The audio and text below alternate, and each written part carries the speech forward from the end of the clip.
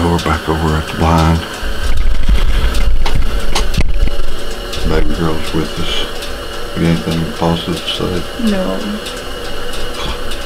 We ain't gonna get a big one? Yeah. Well, that's positive. I think. but uh, we're back over at the blind. It's a real foggy morning. It's probably gonna be like this for a minute, but big bucks and stuff likes to move in this fog, so I'm after a doe and she's after a big buck, so we're gonna uh, sit here and see what we can see.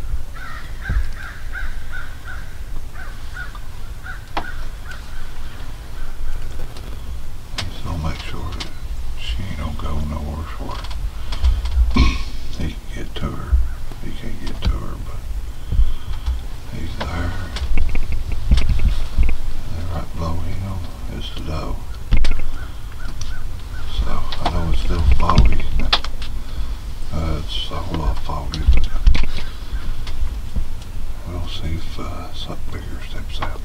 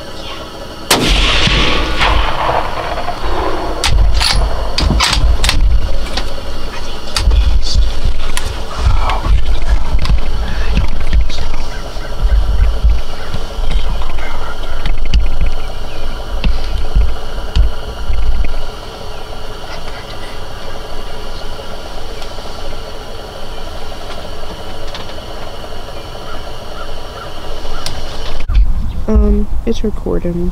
Well, we got a big doe down as you can see. Uh, come through at the right time and I shot her once with the ELD match, but she was going down, but I was wanting to make it quick as possible, so we're gonna load her up and get her back to the house and uh, we'll finish the interview there. Well, we made it back to the house. We got a quick video up in the field, but we just wanting to get out of here and uh, get her home and get her uh, gut and everything hung up. But uh, she's a big doe. She's gonna look good in the freezer. Uh, I think does are better than bucks, but uh, we got her done. Like I said, I'm gonna do a, a video on the two Hornady ammos that I'm using, and I shot this one with the ELD match.